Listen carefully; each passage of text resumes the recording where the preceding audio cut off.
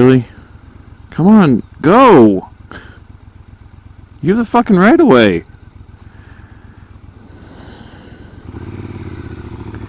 Old ass lady. Jesus Christ, lady. Come on.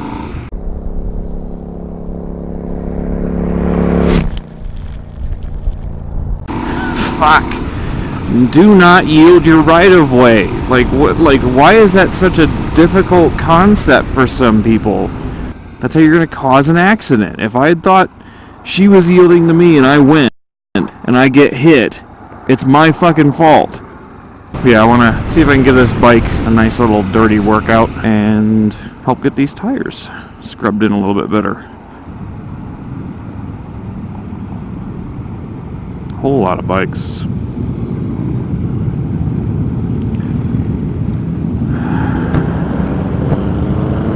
Nice. So yesterday I got the Heidenau K60 Scout tires put on this bike because the stock ones were absolute crap and off-road was terrifying as fuck. I'm liking them so far. They feel sticky. The Bridgestones were okay. I mean, they obviously worked. They just didn't give me a whole lot of confidence on grip because the times that they did let go on me, they really just suddenly let go on me there was pretty much no warning at all. You know, I slid the back tire a couple of times, and on gravel, the front end would get loose pretty easily. And there was just never really a whole lot of warning when it did it. It was just all of a sudden like, oh, oh, Jesus, okay. Excuse me, sir. May I come by? I'm not gonna pass you on a fucking blind corner because of that. Alright, now for the fun stuff. He's probably having fun. You're on the wrong side of the road, minivan. Doink, doink, doink, doink, doink. Not maintained for winter travel. Yeah, a little bit. Found that out the hard way last time. Okay, these tires are a lot nicer on dirt. the tires going around. That's a big boulder. Okay.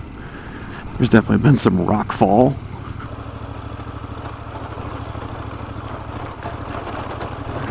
Fucking washboard. Jesus.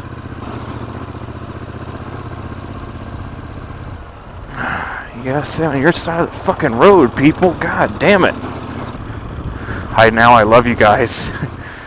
you transformed a, a pretty okay off-road bike, but it, mm, you know, I had to go super slow when it was really sketchy.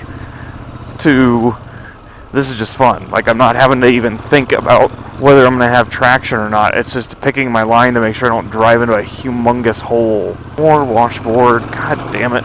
That is when the nice thing of oh Jesus, when you get off the big roads, there's they're not graded, so you don't have the fucking washboard bullshit because that's how you get that. So the washboard is caused by the road grader going over bumps, and the springs that keep the grader touching the ground get into this weird harmonic, and so you get these super repetitive grading patterns that eventually turn into your washboard road, and it's really annoying. And it gets exacerbated by the tires of vehicles going over it because they do the same thing. They hit a bump and bounce, and hit another bump and bounce, and it just gets worse and worse and worse.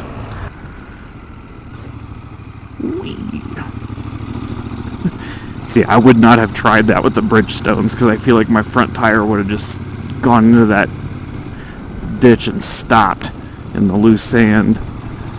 I'm getting pretty close to being down on this side because, yep, there's the forest notifications. I'll eat and uh, then come back over. Here's concrete. Whee. It's like going down a tunnel. It's a tunnel of rocks and trees and a beer bottles. there's a beer bottle on the side of the road over there.